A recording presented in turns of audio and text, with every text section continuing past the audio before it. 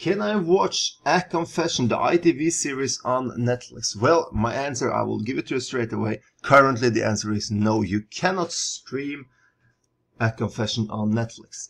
Uh, I've looked through all the regions, the content, and it's nowhere to be found. But if you really want to stream A Confession online and you have a VPN, uh, then it's quite easy. If you don't have a VPN, I've included a link to the NordVPN website in the move description. It will give you a major discount to this fantastic VPN provider that also give you access to American Netflix, Japanese Netflix, Canadian Netflix, UK Netflix, Dutch Netflix. Uh, so click that link, visit the NordVPN website, download their client. Uh, when you have it ready, I have it here. Then you connect to server in Norway. I will explain you why very soon. Uh, when you're connected to the server in Norway, you'll get a Norwegian IP address.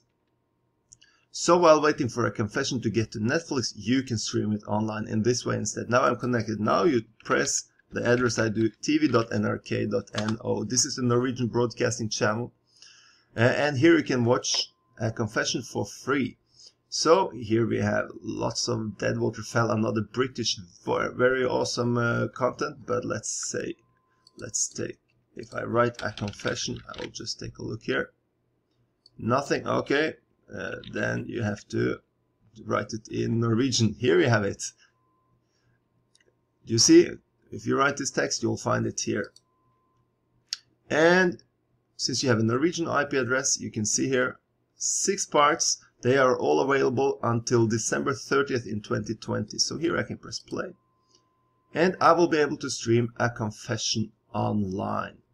So as you can see here, you can turn off the subtitles and you can listen and pay attention for free online.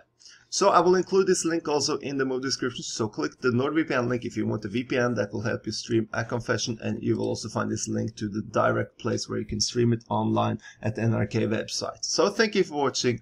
Have a good time.